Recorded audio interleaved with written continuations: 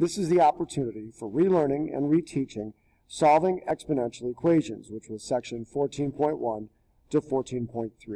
I'd like you to follow along with this video. We're going to take a look at solving four exercises involving exponential equations. Um, you can solve them along with me in the left-hand column. And on the right-hand side, take whatever kind of notes you want to that will help you remember how to solve that specific type of problem. And that can be words, pictures, connections to something else, example problems, anything else that you'd like. Following that, I'd like you to flip to the next page and solve some of these problems on your own. If you want to refer back to these notes, uh, that's fine. And then I've got a couple of questions for you on the last page. So the important thing to keep in mind about an exponential equation, thinking about what an equal sign means. This expression, whatever it means, and this expression, whatever it means, have exactly the same value. Great. So we're talking about exponentials. The base 3 raised to some exponent is equal to the base 3 raised to some other exponent. Well, this is 3 to a power equals 3 to a power. The only way these two equations can be equal is if these powers are equal. So that's going to be our approach. First, making sure that we have the same base, 3 to the something equals 3 to the something. Then, writing the exponents equal to one another. So this exponent, 2x, equals this exponent, x minus 4. So no longer do we have this confusing exponential equation.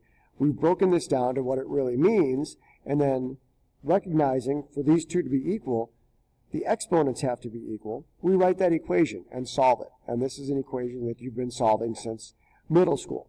2x equals x minus 4. So I need I have variables on both sides, so I need to go ahead and combine those. So minus x minus x. 2x minus 1x is x. x minus x is 0. And so x is equal to negative 4. I can go back and check this if I want. 2 times negative 4 should be equal to negative 4 minus 4. So negative 8 equals negative 8, and that checks. So I can see that negative 4 is the correct solution to this equation, which means it makes this equation true. Looking at another example, 10 to the negative 2x equals 1 tenth. So in this case, I've got an exponential expression on the right-hand side, 10 to the negative 2, uh, on the left-hand side rather. On the right side, just this fraction.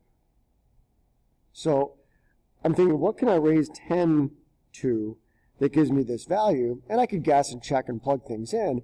Or, thinking about how I solved this first equation, I'm going to write 1 tenth in a different form. 1 over 10 is the same thing as 10 to the negative 1 power. If you look on your calculator, many times you'll see a button that says x to the negative 1, which means inverse. So the inverse of 10 is 1 tenth. They're reciprocals. If I write the right-hand side as 10 to the negative 1, now look what I've got. I've got an exponential equation with the same base. 10 to the negative 2 equals 10 to the negative 1. Now, same story like I had in my first exercise. Same base means I can write the exponents equal to one another.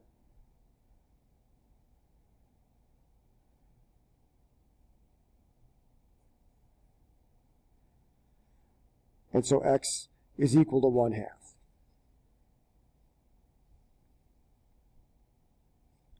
So let's use that same tactic. On the right-hand side, 125 to the x, so this is an exponential expression. The left-hand side, 5 to the 2x plus 2. So I have an exponential expression equal to another exponential expression. That's great. So I know at some point I'm going to set the exponents equal to one another, but I can't do that just yet. Why not?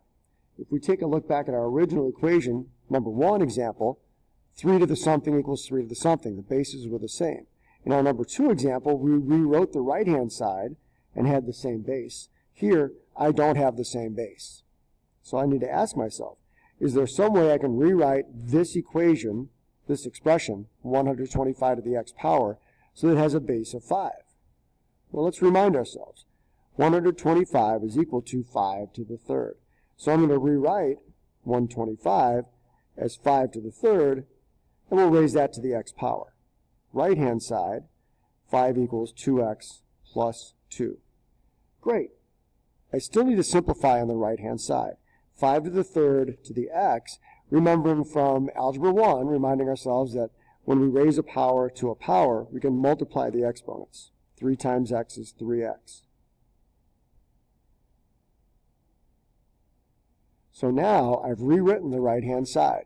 I've used what I already know about math and about exponents to change the way the right side looks without changing its value so that it's in a form that I can use to solve an equation. 5 to the 2x plus 2 equals 5 to the 3x. Now I can set the exponents equal. 2x minus 2x is 0, so the right-hand side has just 2. 3x minus 2x is 1x. So in this case, the exponent 2, x equals 2, will solve this exponential equation. All right, one last example. Here I've got an expression with a radical equals another radical. And we might say to ourselves, well, wait a minute, I thought we were solving exponentials here. Why do I have radicals involved?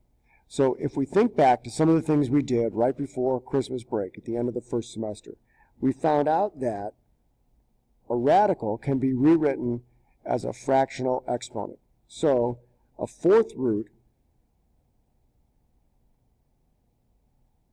can be expressed as an exponent of one-fourth.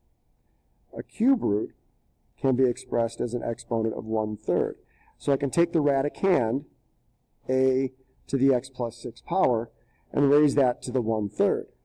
Similarly here, a to the 3x minus 2 raised to the one-fourth.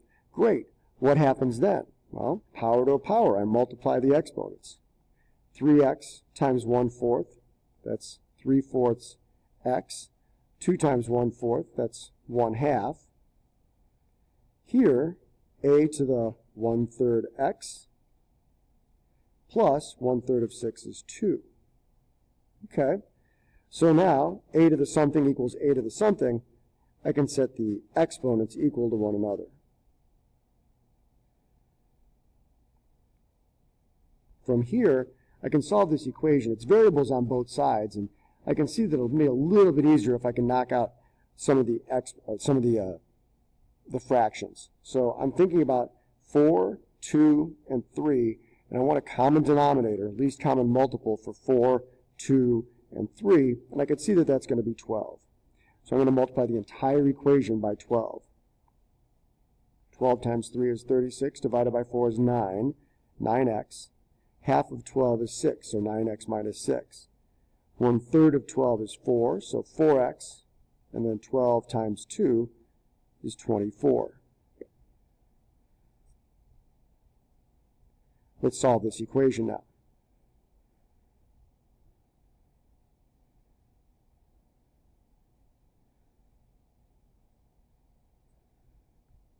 Adding 6, adding 6, so 5x equals 30.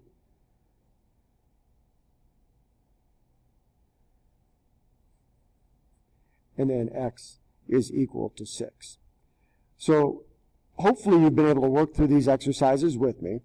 Uh, you've taken some notes for yourself on the right-hand side that remind you of critical moments, things that uh, will help you to be able to solve one of these equations on your own.